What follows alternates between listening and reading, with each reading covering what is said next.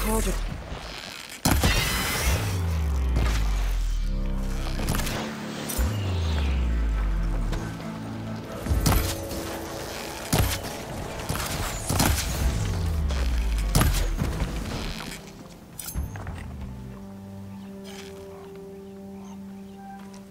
What do you want?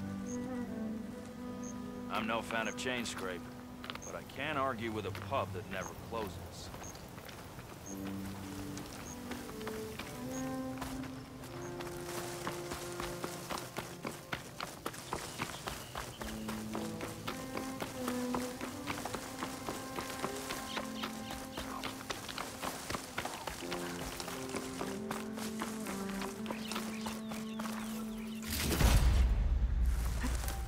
You don't see this every day.